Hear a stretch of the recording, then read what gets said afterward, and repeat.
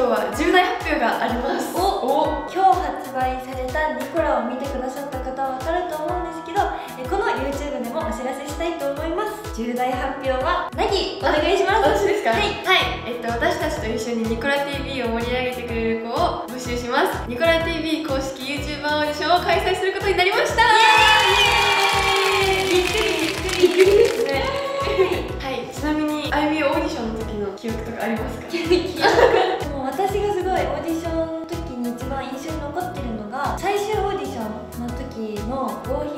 否合格電話。電話。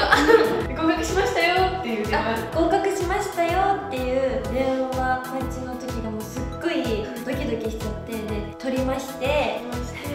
合格しましたって言われた時はもう頭真っ白で、今現実かな？私今 夢の中にいるんじゃないかなっていう信じられないくらいの国感じがあってその時の記憶がまだここに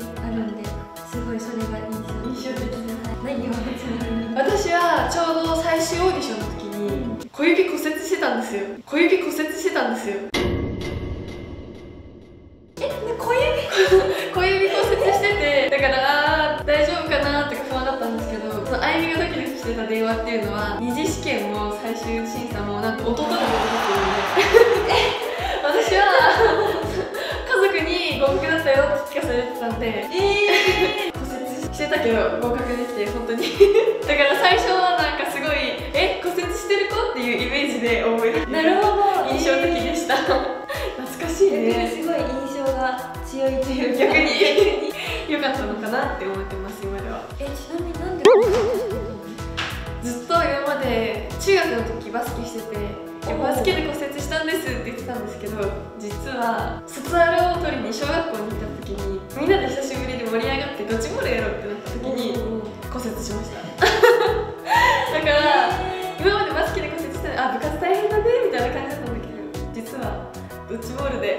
ということになってました？えじゃあ投げたあとキャッチするときキャッにチするときにグキ今でも曲がってるんです本当だ。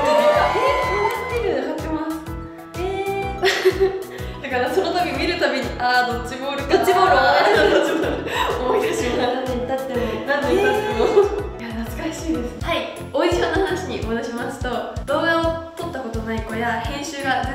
ないっていう子でも全然 OK です。私たちもやったことないんで初めてなんでねもう一緒に頑張っていきたいな。一緒に。でも何するの？私たちとニコモの子たちと一緒にニコラ TV に出て YouTube を通してニコラの魅力をたくさん広めていけたらいいなって思ってます。はい、ですので、えー東京都内で撮影できる子が対象です、はい、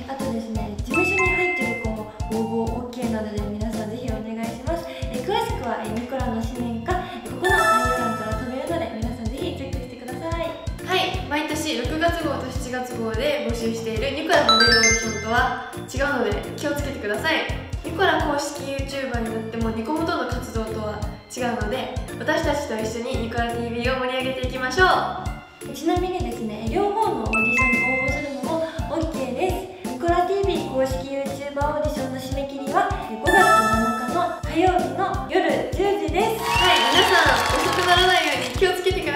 ではたくさんのご応募お待ちしてます。私たちと一緒に盛り上げていきましょう。行きましょう。はいということで今日の動画はここまでです。また次